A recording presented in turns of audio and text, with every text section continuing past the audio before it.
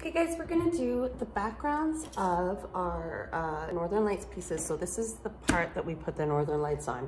We're gonna be using beautiful chalk pastels. The ones we have at school are a little bit broken up, but that's okay because we just need to use them on their sides anyways, so it'll work out. So my first step is to take a dark blue and do the background. So I'm gonna take it on its side and I'm gonna lightly, that's the key word, we don't want too, too much on there.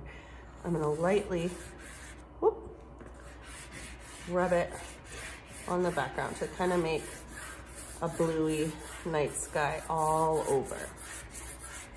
I'm gonna try to actually keep it going in the same direction so I don't have too much pattern going across the background. We don't really want that. We just need this kind of a light blue covering the back. All right, that's okay if there's some down there because we're gonna be covering up the very bottom.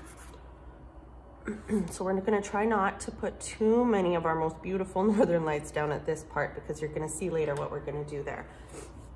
Okay, so I'm gonna use that same blue and I'm gonna use the tip of this one this time and I'm gonna make some movement in the sky with the northern lights because as we saw in that video, they're like they're like dancing across the sky. So I really wanna have some movement in there. So I'm gonna come in with my dark blue first, because if we start dark, then we can build it up with lighter color. So we always do dark first with these guys. So I'm gonna do, I'm gonna come in, I'm gonna do like one blue line like that, movement, because they kind of, they kind of have a wavy movement like that. Um, maybe I'll come in and do some big ones like that. And another one I connected these ones. So this is gonna be like a big piece of light right there. And then maybe another one like that, okay? Uh, we don't wanna add too much. That's always the problem with chalk pastel is that I just wanna like add more and more and more and more. And uh, just doesn't really look that nice after. It just kind of gets muddy and the color gets all like crazy. So the next color I'm gonna go in, maybe, mm, I don't have dark green right here. I have dark green in another one. I do. I'm gonna take dark green. If you don't have it in your tray, go borrow it from someone else. And I'm gonna just go along that same line. You guys can do whatever pattern you kind of want, but make sure it looks like the Northern Lights. Um, I'm gonna come on the inside of this guy, and you'll see why. Hi, Mrs. Howe. If you can send uh, one student down to the main floor to get uh, pita pit from Healthy Hunger for today. Thank you. Hi, Miss Hanfeld. All right, so there I have some green. Maybe I'll put a little bit on the inside of this guy too because it's gonna be a big block of color. And then I'm gonna come in with my light green.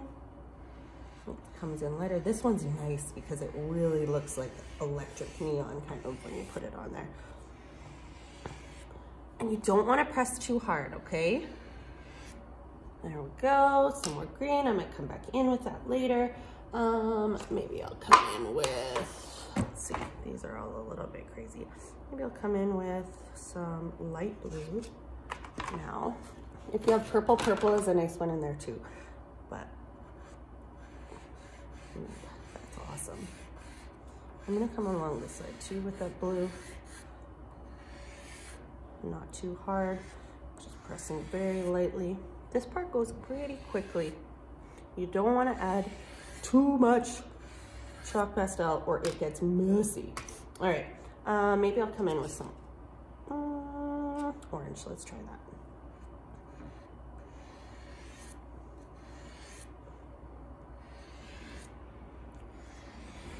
Okay, and last maybe some some yellow. I'll use this one on its side. I'm just gonna highlight up here. I'm keeping the movement going. I'm kind of using it really wispy. Okay, now comes the smudging part. Okay, now that I have my chalk pastel on there, I'm gonna come in with my finger and I'm gonna smudge it together.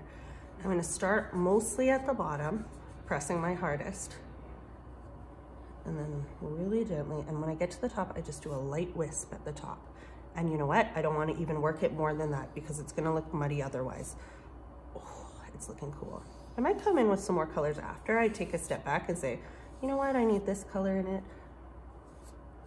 this thick um, solid line of the blue here, you might want to soften that a bit on the edge. There we go. That's beautiful. I'm not going to do any more than that. I'm going to come in at the bottom of this guy, pressing harder here. But I'm going to kind of like paint with my finger. I'm to follow the movement that I created here. And then up at the top is where I make it really, really wispy. But I kind of want to soften the edges of that dark blue now that I take a step back and look at it. Okay, and last one, wispy ends. Ooh, I love how the color like just kind of looks diffuse. Okay, when I look at it now, I think I might want some more light blue. So I'm gonna come in again with the light blue through here, some more here, maybe a little bit more, and then maybe some yellow. No, red, I want red. Maybe just some highlights of red throughout here. Okay, now let's see what happens when I smear that. You don't want to go too hard or you're going to bring the whole, like pull the, all of the color off with your finger.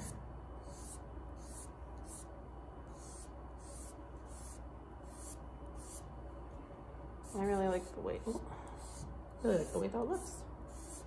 Okay. So that's the first step of our background. Okay, dudes, this is uh, one of the last steps we do on here. I'm gonna do the, um, See, I can't stop smudging.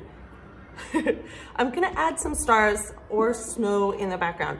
I uh, put some metallic tempera paint in there. It's kind of a bronzy gold color and then just some white paint. Um, and I have a tiny, tiny little paintbrush. I have, I just bought a couple new ones of these so you guys can try them out. This is gonna be my stars. I'm gonna just take a little tiny bit on my brush and just dab them around the page.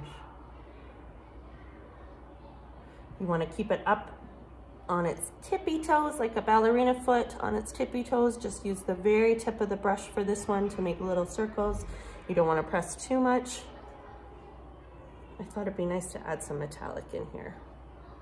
If you don't want metallic, you don't have to use it.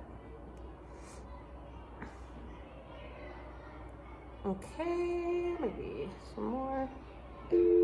Well, Kieran James to the office, please. Kieran James. Nice cousins.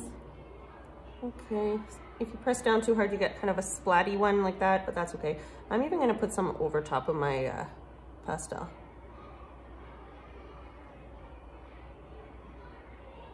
Boop, boop.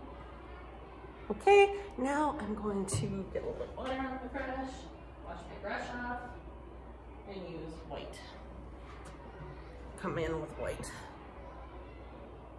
I'm not really putting it at the bottom because I'm going to be putting my Edmonton skyline there. I'm just doing it totally random.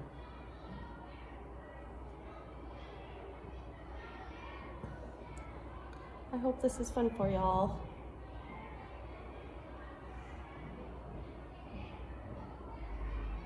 I'm doing different sizes too, so it looks a little bit more realistic some small ones, some bigger ones.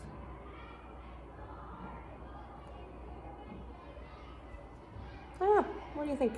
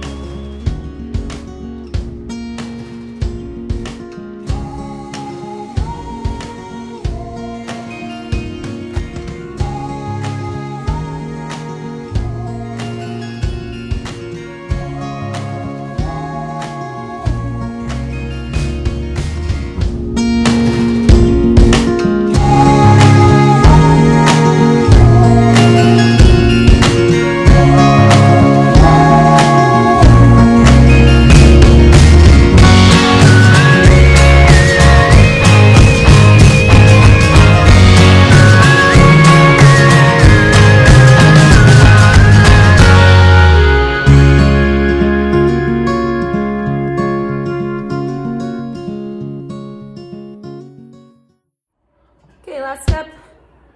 I put some glue on the back of my skyline after I cut it out. Whoops, I need a little bit more on this end.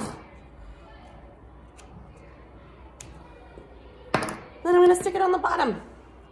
Let's see how it looks. Ooh. Right, line it up right corner to corner and press it down. I'm not gonna smudge it because it'll smudge the chalk pastel. Whoops, I got some gold on my hands because my paint isn't dry yet. and there we go. Edmonton and the Northern Lights.